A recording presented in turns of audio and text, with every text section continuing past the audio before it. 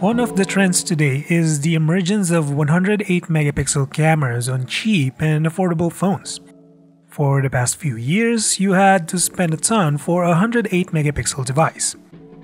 But today, you can get a 108 megapixel phone for less than $300.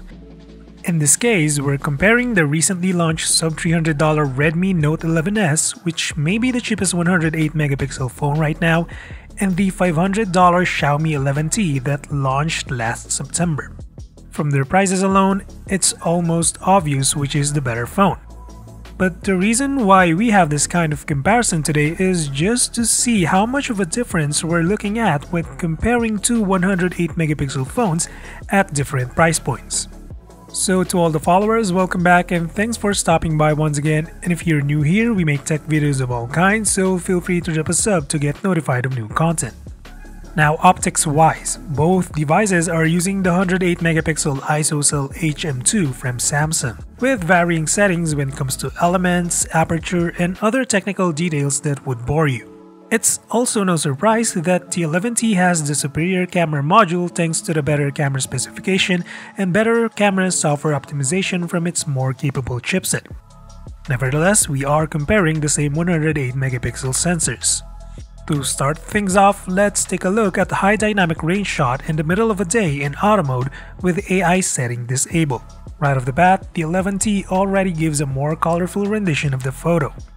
It's as if you don't need to edit the photo before posting it on social media. The good thing about the flatter look of the 11S is that it leaves room for editing like adding filter without ruining the colors too much. As we zoom in, you'll notice that the 11T is looking more like a painting with its smoothing effect, but the 11S is looking over sharpened but still with a natural look to it. For the first photo, it'll probably come down to personal preference. Some of you might like the natural output of the 11S, albeit over sharpened, but I could also see others opting for the more colorful 11T as brightened and colored photos are usually what attracts the eyes. But personally, for me, I don't like the saturated colors of the 11T, so I'm sticking with 11S on this one. Switching to the 108 megapixel mode, we now have a more detailed rendition of the scene. While the 11T looks a little less cartoony due to the better sharpness, the over-sharpening effect of the 11S is almost gone to the point where it's closer to a mirrorless camera than the 11T. I definitely prefer the shot of the 11S to the 11T. Moving indoors using HDR in regular mode, it's hard to see the difference between the two. At a glance, they look identical, but if you're looking for the difference, you have to look at the whites to see that the 11T has brighter highlights than the 11S, but despite the 11S showing a slightly brighter photo in this scene, the 11T captured the more accurate color as seen from the green color of the box. But sharpness wise, I'm impressed with the 11S locking into a better focus than the 11T. Although the overall result of the two photos is similar, I have to go with the 11T on this shot. But that's just my personal take.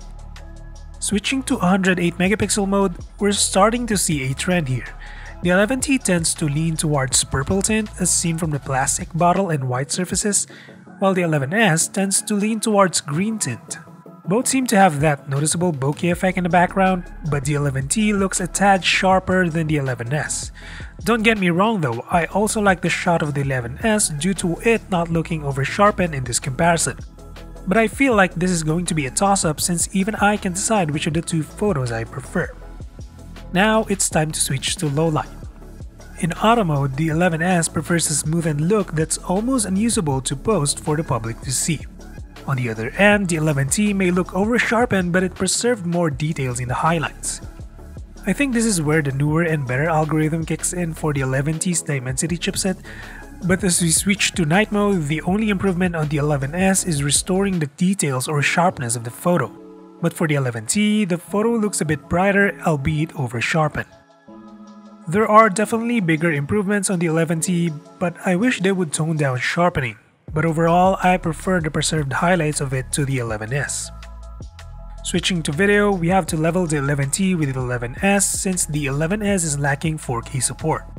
With that in mind, we captured these videos in 1080p at 30 frames, the maximum supported setting of the 11S. Again, just like in photos, the 11T looks sharper and more colorful. However, it has a warmer tone than the natural looking 11S. The 11T though has a better dynamic range as seen from the clouds, but I doubt most smartphone users would see this difference. Now at this point, I think we now have an idea of how each phone performs when it comes to its main sensor.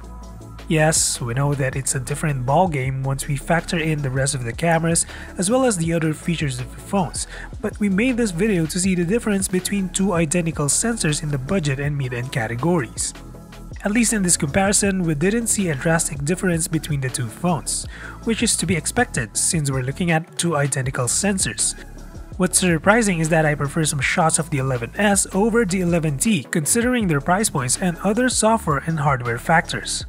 Although I said that we're only comparing their main sensors, let me give you a few selfie samples from their respective 16 megapixel selfie camera just to give you an idea before ending this video. Now drop a sub or like if you feel supporting the channel and until the next one, stay safe.